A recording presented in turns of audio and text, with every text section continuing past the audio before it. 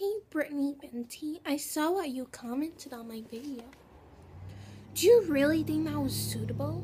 I just woke up and saw your message. Do you think that was funny? You weren't on the internet before me. And I am not 12 years old, okay? So, I'm gonna do an impression of you.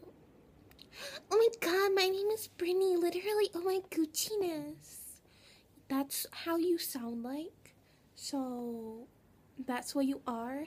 And I figured if people are gonna keep telling me that I'm you, I'm just gonna destroy you once and for all so I won't have that problem.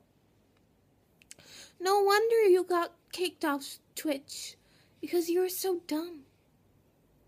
So, Brittany, please reply to me. And people tell me how I can ruin her life.